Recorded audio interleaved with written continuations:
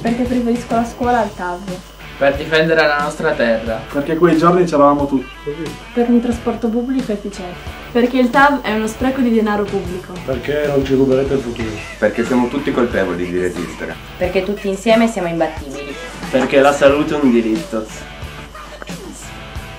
Perché fermarci è veramente impossibile!